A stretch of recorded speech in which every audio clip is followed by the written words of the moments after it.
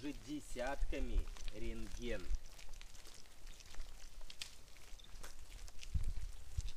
Есть некий миф, я думаю, вы знаете о нем, что Речь Форд. А, так это, наверное, на, на баржу или что там было? Типа, сюда ракета ходила. О, о.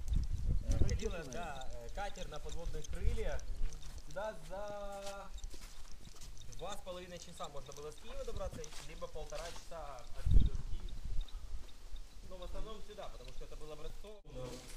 Четырех времени года видеть девочек, вы видите слева зима, дальше весна. А в некоторых местах даже постреляли.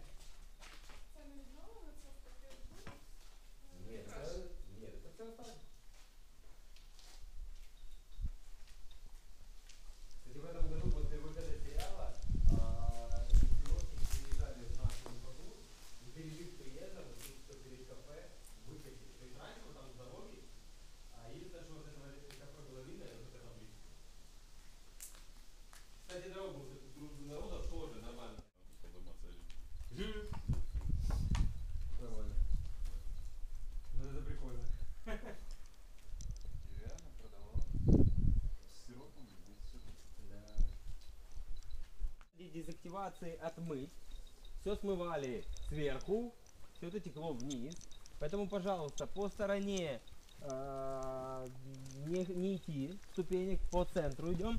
Единственное, что внизу сейчас в одном хотспоте остановимся, я покажу замер и выйдем уже на причал.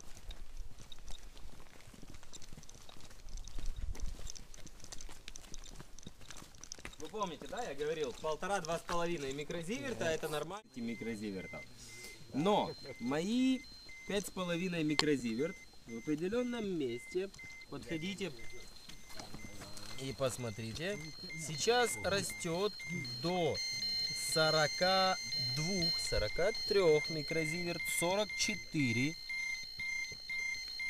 Вспомнить, где же мы тут конкретно. 42-43 микро... Упадет где-то до одного-полутора микрозиверт.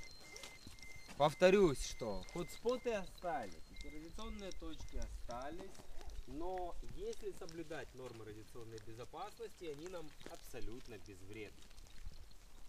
Итак, мы вышли на причал. Что же мы видим перед собой?